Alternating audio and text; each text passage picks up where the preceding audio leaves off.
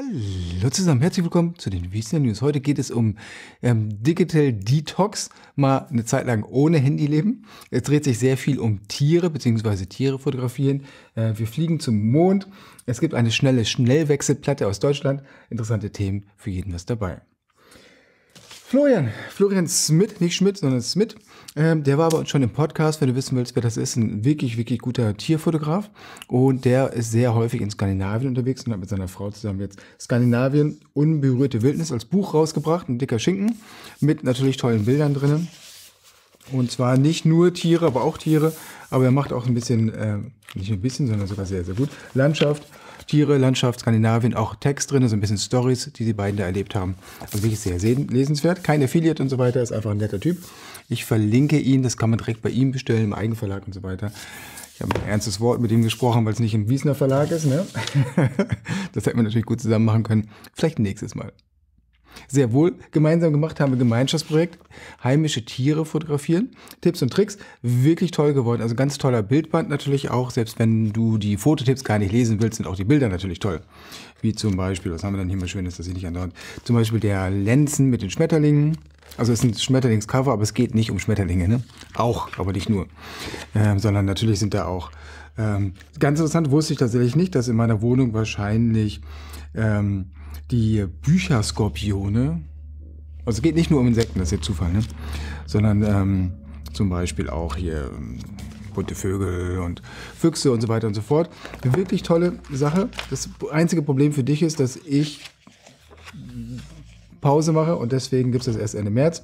Aber dabei ist der Marco Hoffmann, der Thomas Hinsche, Sarah Böhme, Nico Sonnabend, Ferry Böhme, Thomas Hinsche, Ferry Böhme, Ferry Böhme, Christian Wappel, Markus Lenzen, der Chris Krauler natürlich, Marc Schäfer, Stefan Vogler, äh, Christian Wappel, habe ich glaube ich noch nicht gesagt, Daniela Graf, ähm, Sarah Böhm und so weiter. Also wirklich, wirklich, wirklich ein rundes Projekt. Ähm, aber gibt es erst Ende März. Mehr dazu dann Ende März nochmal als Erinnerung. Ja, und nicht vergessen, das Chris Kauler Buch, das gibt es natürlich noch. Und nicht vergessen, portofreier Versand ab 50 Euro. Also die beiden zusammen bestellen, aber erst Ende März, weil erst dann kannst du sie zusammen bestellen. So, und ich habe dann im Urlaub nicht so viel zu tun. So, spannende weitere Themen sind die Fuji X106. Da wurde mutmaßlich schon seit Monaten vorproduziert. Und zwar gibt es wohl schon so, man, man munkelt so 60 bis 90.000 Einheiten gibt es schon, aber klar, wenn sie sich weltweit verteilen und die liegen irgendwo im Lager, müssen jetzt verschickt werden und so weiter, nicht durchs Rote Meer potenziell etc., ist, ist ja alles kompliziert geworden. Das heißt, das dauert natürlich einen Augenblick. Die ersten sind ausgeliefert worden, bei Fotohama habe ich gehört, die erste Lieferung ist schon raus aus dem Haus und da kommen jetzt halt ständig neue nach und er sagt, die äh, Verfügbarkeit ist nicht so schlimm wie früher, das soll besser sein als bei der 5, aber das muss ich jetzt auch etwas einpendeln. Das dauert natürlich ein, zwei, drei Wochen, bis das so ein bisschen alles routiniert läuft. Von China in dem Fall, wird er in China produziert, bis nach Bochum zu Fotohama ist ja doch ein langer Weg. Stell dir vor, du willst ein neues Produkt auf den Markt bringen und erwartest, dass du 240.000 Einheiten davon verkaufst in zwei Jahren. Das, wir sind dann also 10.000 im Monat. So, das ist die Frage, wie machst du das mit der Produktion? Die Idee ist ja, ne, du hast eine Achse hier, du hast da T dran und da hast du halt eben Menge dran. Dann hast du hier zwei Jahre und dann ist ja im Idealfall hast du halt eine Produktion, die so ein bisschen hochfährst, dann hast du sie und dann fährst du sie nachher wieder runter und dann hast du halt hier im Monat irgendwie 10.000 Einheiten. So.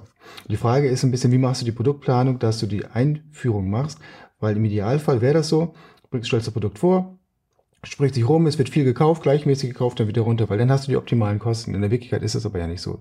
Sondern die Nachfrage, die ist in der Regel so, dass du hier pst, so eine Kurve hast. Einen unglaublichen Peak am Anfang, gerade bei teuren Sachen ist das so, wie jetzt in der neuen Fuji X106. Da wird sehr, sehr viel ganz am Anfang, in den ersten Tagen gibt es ganz viele Vorbestellungen und so. Da werden die ausgeliefert, abverkauft und dann bricht das total ein und dann hast du so ein bisschen so sehr gleichmäßig und irgendwann am Ende geht das halt so ein bisschen runter, weil keiner das mehr haben will. Ne?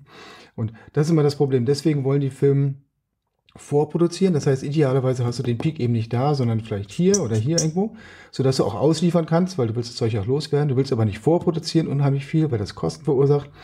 Also ist immer so ein bisschen Spielerei, wie man das hinkriegt. Aber das Entscheidende ist dieses hier. Und deswegen sind am Tag des Releases auch Leute wie ich, die Influencer, wir bringen das immer am ersten Tag raus, weil die Firmen das gerne möchten, dass es totaler Hype ist und so weiter, dass alle sich drauf stürzen. Weil für die Kostenstruktur, für die Firma ist es ideal so, so und die Produktion läuft so beste Kostenstruktur. Für die Kunden nicht, weil sie dann viele Kunden sehr lange warten müssen. Deswegen immer so ein bisschen, wie viel produziert man vor, dass nicht zu viele warten müssen und so weiter. Ein aufrollbares Stativ habe ich gefunden. Äh, der Kollege von ValueTech, der hat ein kurzes Video zugemacht. Ähm, also sofort, der erste Gedanke war natürlich sofort, oh, wie cool weil klein ist nicht leicht, ne? Also es ist nicht leichter als ein normales Stativ, aber es ist halt sehr klein, sehr kompakt, wenn man das zusammenrollt und es passt dann natürlich ins Handgepäck, weil ich habe jetzt neulich auf dem Norwegen-Flug, da habe ich jemanden im Stativ am Flughafen gesehen, das erste Mal tatsächlich.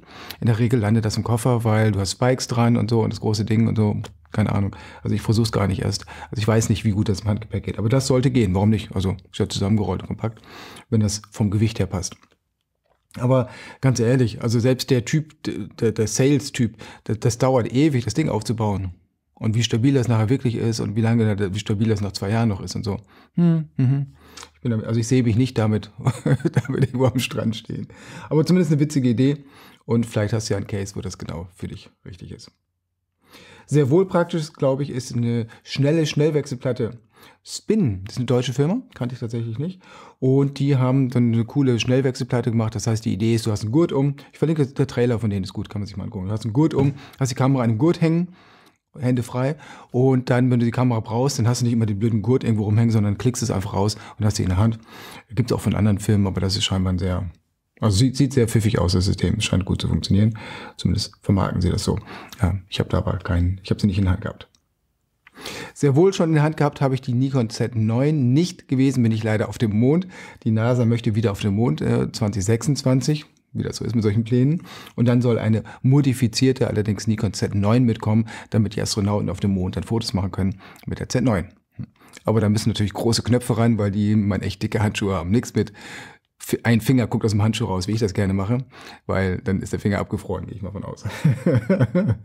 also natürlich, also Anforderungen natürlich, ne? wie kriegst du das hin, dass die Kamera da funktioniert? Woher weißt du, dass sie da funktioniert? Weil was wäre das für eine PR-Panne? Stell dir vor, die Kamera fliegt da hoch und die stellen dann oben fest auf dem Mond, dass die Kamera nicht funktioniert. Ein Debakel für Nikon, oder? Aber ausprobieren können sie es nicht. Sie können nur irgendwie raten. Ne? Aber sie haben Erfahrung. Also Nikon-Kameras sind da schon lange im Weltraum. So. Wenn du eine Nikon-Kamera hast, so wie ich, ich habe die Nikon Z8 hier liegen und ich war gerade in Norwegen und bin sehr, sehr häufig gefragt worden, warum ich denn die Nikon nicht mitgenommen habe, sondern die Sony. Die Nikon Z8 ist ganz klar eine bessere Kamera als die Sony A7 IV. Ist auch sehr viel teurer. Natürlich ist sie besser. Und die hätte ich auch gerne dabei gehabt. Aber kein Klappschwenkdisplay. Ich bin halt als Ein-Mann-Bude unterwegs und muss mich auch mal hin und wieder selbst filmen. Und dann natürlich das Problem, es gibt kein 1635 oder vergleichbar. Und das schreiben ganz viele, aber es gibt doch das 1430. Ja, das ist halt nur F4 und das ist auch sehr viel günstiger als das 1635 von Sony. Das ist schon nicht so gut besseres Preis-Leistungs-Verhältnis. Also eigentlich das bessere Objektiv, wenn Geld eine Rolle spielt. Aber wenn du maximale Qualität willst und wenn du vor allem nachts fotografieren willst, dann ist das 2.8 Master natürlich besser. Und sowas gibt's von Sony halt nicht, von, von Nikon halt nicht. Aber sehr, sehr korrekterweise haben mich diverse Leute darauf hingewiesen, dass es Adapter gibt. Also ich hätte die Nikon mitnehmen können, mir einen Adapter kaufen können und dann hätte ich Sony-Objektive an der Nikon betreiben können. Aber habe ich gesagt, ja, das ist auch so ein Quatsch. Warum soll ich da nochmal Geld ausgeben, wenn ich, wenn ich beides hier liegen habe? Ne?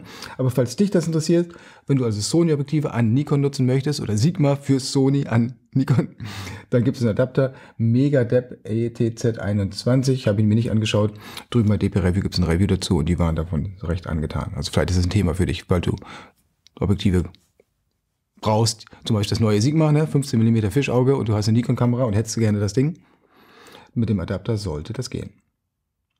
So, Sony Produktionsprobleme, Fragezeichen. Auf Sony Alpha Rumors äh, gibt es einen Artikel, die behaupten, dass die Produktionsprobleme haben, weil diverse Kameras und Objektive angekündigt werden, dann aber erst Monate später verfügbar sind. Nicht so wie Fuji das gemacht hat.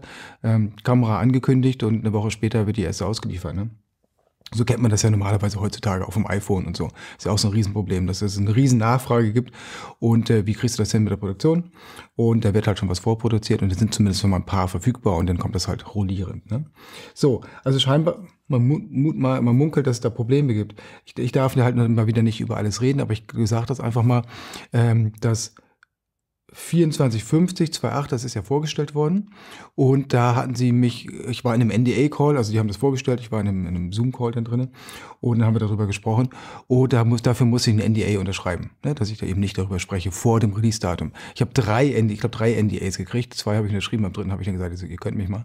Ähm, mit verändertem Datum, veränderte Uhrzeit nachher nur. Und, nee, also come on. Also jetzt, jetzt mal langsam albern irgendwie, ne? Ähm, also die haben da auf jeden Fall, das Problem ist ein bisschen folgendes. Ähm, das eine ist, du hast ein Produkt fertig und willst, dass es auf den Markt kommt. Und aus irgendeinem Grund, den ich nicht verstehe, verstehe ich wirklich nicht, ist das ja immer top, top secret irgendwie.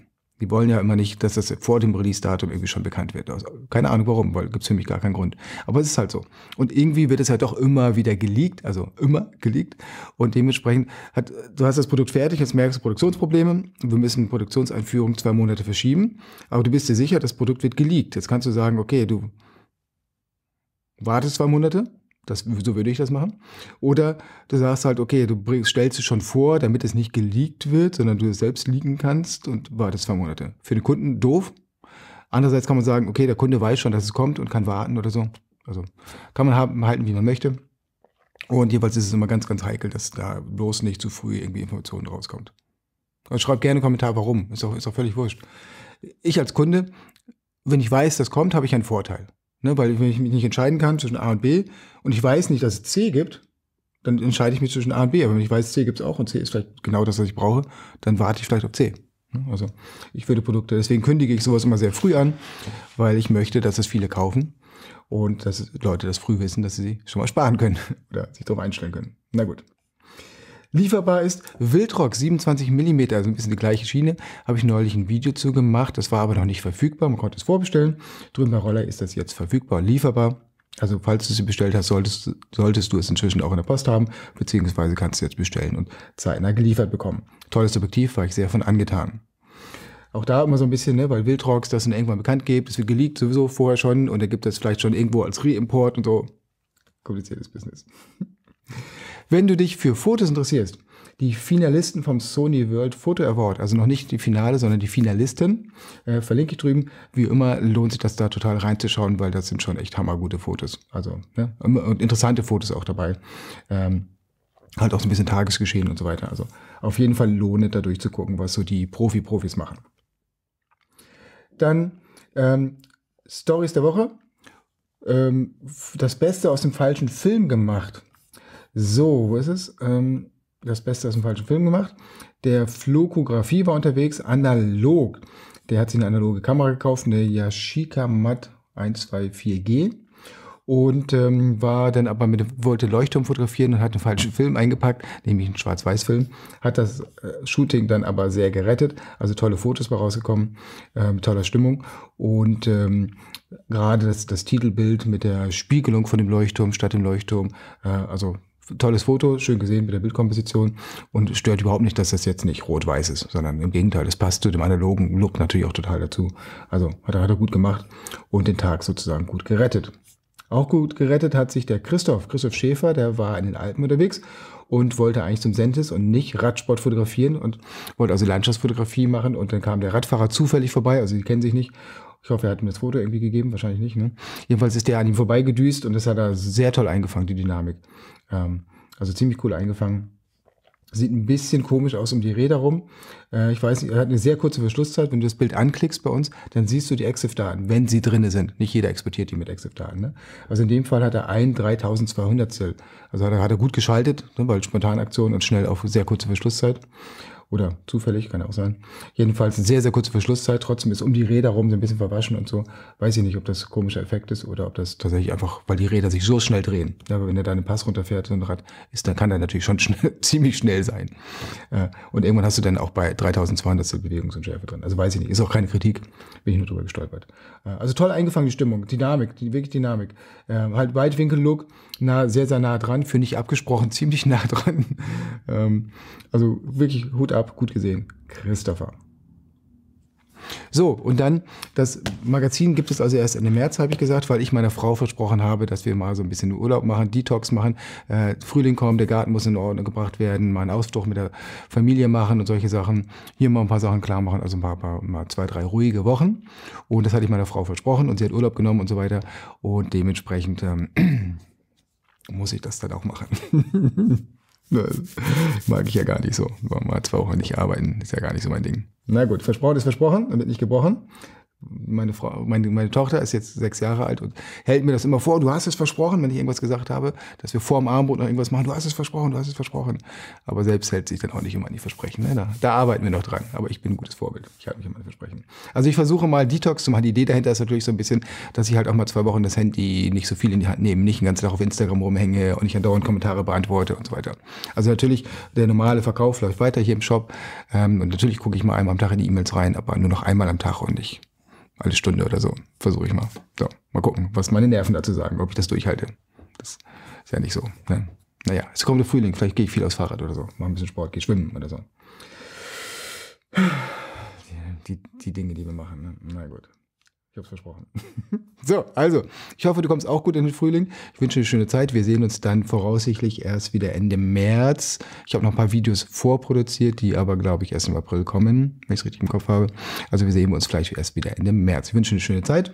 Bleib gesund. Bis zum nächsten Mal. Tschüss.